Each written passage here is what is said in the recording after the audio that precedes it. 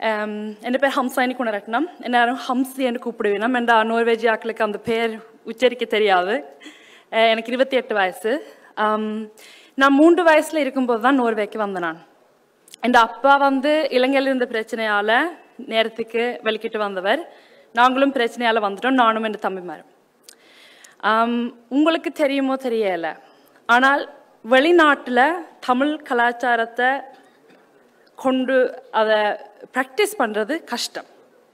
அதுவும் ஒரு multi culture சொசைட்டியில் எங்கட கலாச்சாரத்தையும் ப்ரொடெக்ட் பண்ணிக்கொண்டு இன்னொரு கலாச்சாரத்திலையும் இருக்கிறது கஷ்டம்.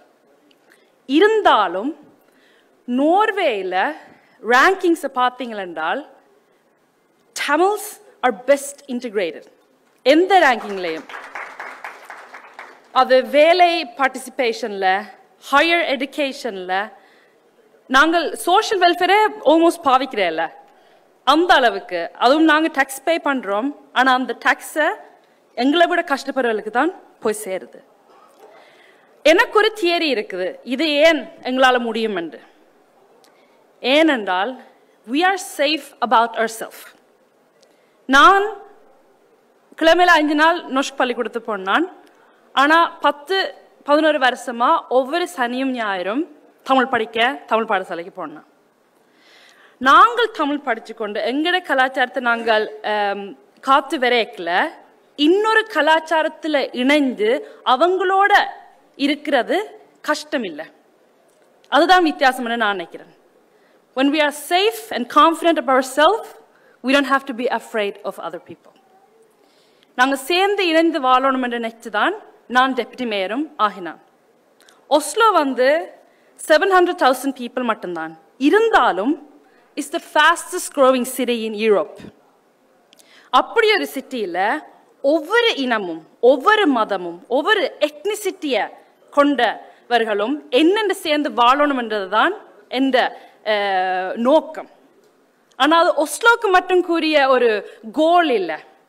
உலகெங்கும் எல்லாரும் எந்த ஜாதி மதம் இனத்தை கொண்டாலும் என்னென்னு சேர்ந்து வாழலாம் என்றதுதான் முக்கியம். அப்படி வாழ்ந்தாதான் பீஸ் அப்படி வாழ முடியாட்டில் நாங்கள் அப்படி வாழலாம் என்று யோசிக்காட்டி தான் சண்டை பிரச்சனை. இன்னைக்கு நாங்கள் அம்மா ஜெயலலிதாவை நினைவு கூந்தினாங்க அதை பற்றி நான் ரெண்டு விஷயம் சொல்ல விரும்புகிறேன் அவங்க வந்து பாலிட்டிக்ஸில் செஞ்ச விஷயங்கள் எங்களுக்கு பிடிச்சிருக்கலாம் பிடிக்காமலும் இருந்திருக்கலாம். இருந்தாலும் ஒரு பெண் இப்படி ஒரு முக்கிய பதவியில் இருந்தது வந்து இந்த நாட்டுக்கு முக்கியம். ஆனால் அந்த செயின் ரியாக்ஷன் அவ அதில் இருந்த பொசிஷன்ல இருந்தான்ற ஒரு செயின் ரியாக்ஷனை கொண்டு வர்றது எங்கட கடமை. நான் இங்க இதில் நின்று அவ வாழ்த்திட்டு போகின்றிருக்க விரும்பல.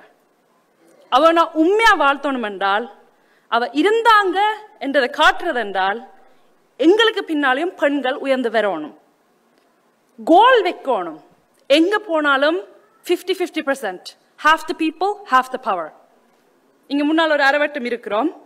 அடுத்த வருஷம் இந்த அரவட்டத்தில் அரவாசி பேர் பெண்களா இருப்பினுமா? ஸோ கோலும் வைக்கணும். ஆனால் அந்த கோலை நோக்கி போறதுக்கும் சிஸ்டம் வைக்கணும்.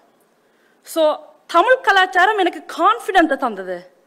ஆனால் நோர்வேஜிய சிஸ்டம் தான் எனக்கு பவரை தந்தது. அது ரெண்டும் இணைந்தபடியாதான் நான் நானா வந்த நான் உதாரணத்துக்கு நான் நேற்று விஐடி யூனிவர்சிட்டிக்கு போயிருந்தேன் நான் சார் விஸ்வநாதன் அவர்களுடைய காலேஜ் என்னை சுத்தி காட்டின வினம்.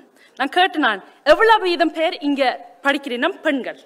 சொன்ன வினம் முப்பது வீதம் என்று எனக்கு பெருமையா இருந்தது. காரணம் வருடா வருடம் இன்க்ரீஸ் பண்றீனம் ஸோ நீங்க கோல் மட்டும் வைக்கல விஸ்வநாதன் சார். நீங்கள் கோலை வச்சு அதை நோக்கி என்னென்று வேலை செய்கிறன்றும் நீங்கள் பார்க்குறீங்கள் அதுதான் முன்னுதாரணம். அப்படித்தான் நாங்கள் வேலை செய்யணும். அறுவாசி பேர் பெண்கள் அப்ப அரவாசி பவர் பெண்கள் எங்கேயும் அரைவாசி பேர் பெண்களா இருக்கதான் வேணும். அப்படி இருந்தாதான் இந்த நாடும் மற்றவர்களுக்கு முன்னுதாரணமா இருக்க முடியும். நன்றி வணக்கம்.